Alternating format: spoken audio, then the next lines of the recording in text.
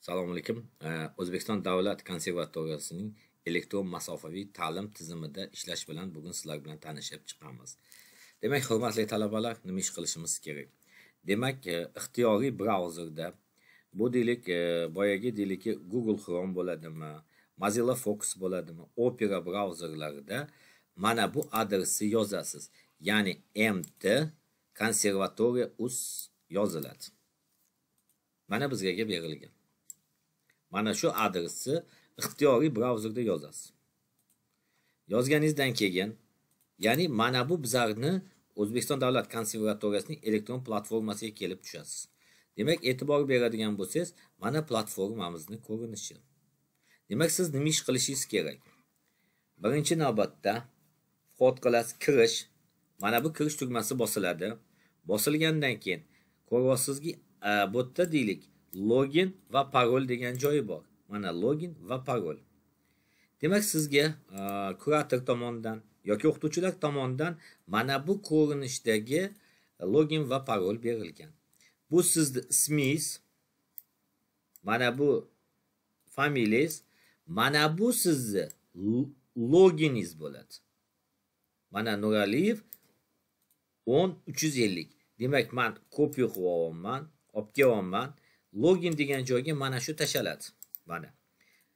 Va parol degan joyiga parol degan joyga mana buni tashlaysiz. Ya'ni konus va 10 202 kopiya buni ham olib kelasiz вставить qilasiz.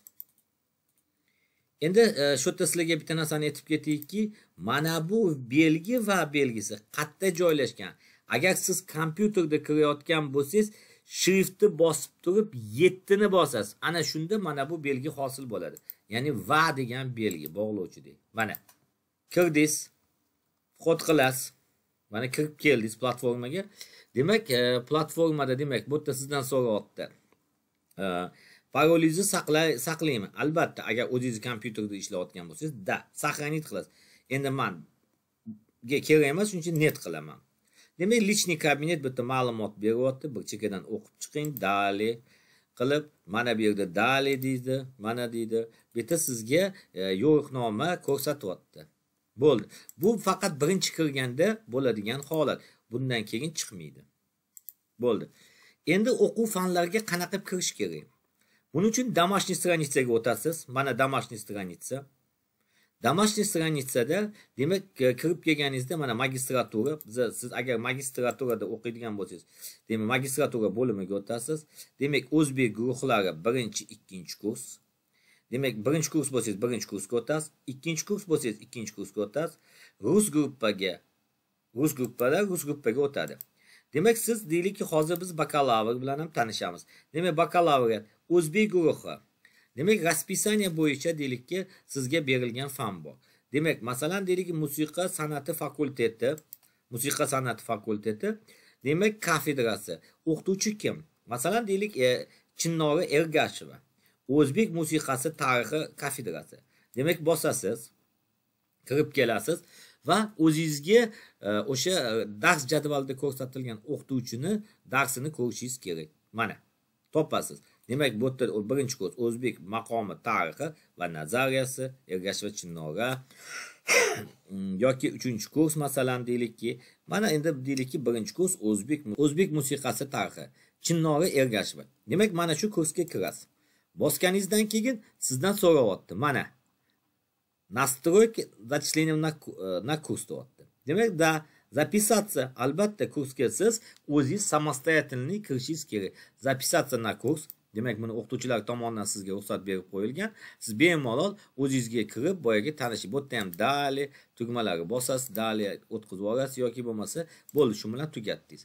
Endi deylikki o'sha ma'ruza darsi. Demak ma'ruza bir. Sizga deylikki mavzu berilyapti. Birinchi ma'ruzani mana darsimizda qo'shon e, saltanatim e, davri musiqa madaniyati. Demak ochasiz buni. Ochganingizdan keyin mana o'sha ma'ruzalar to'liq o'qishingiz kerak bo'ladi. Chunki nimaga? Ertaga bizada joriy nazoratlar bor oraliq nazoratlar bor. Albatta mana shundan e, savollar tushadi. Demak bu yerda o'qib bo'lganingizdan keyin orqaga qaytasiz. Endi xuddi shu materialni deylik o'zingizni e, kompyuteringizga saqlab olsangiz bo'ladi. Ya'ni mana buni bosadigan bo'lsangiz siz kompyuteringizga saqlab olasiz. Mana. Yoki bo'lmasa o'sha pdf ko'rinishidagi holatini ko'rishingiz mumkin. Endi manda hozir e, kompyuterimda bu ochib yuboryapti sizda saqlanadi. Demak e, kompyuterda saqlash mana buni bossangiz bosiladigan bo'lsa saqlash. Demak sizni o'sha kompyuteringizga yo telefoningizga buni bevosita saqlaydi demak ko'rsatasiz рабочий stolga va сохранить deysiz va bu bu mavzu sizda e, saqlanadi pdf holatida. Demak man bu yerdan orqaga qaytaman. Xuddi shundoq deylik mana shu mavzu asosida bizada taqdimotlar berilgan. Taqdimotlarni ko'rishingiz mumkin. Bu taqdimotni siz o'zingizga yuklab olishingiz mumkin. Buni yuklab olinadi. Demak bu e'tibor beradigan bo'lsangiz mana mavzuni yuklab oldi. Ana undan keyin taqdimot bir. Bu taqdimot birni ochadigan bo'lsangiz sizni buni boyagi mobil versiyalarda o'sha kompyuter versiyalarida mana bu ko'rinishda ko'rish imkoniyatingizga ega.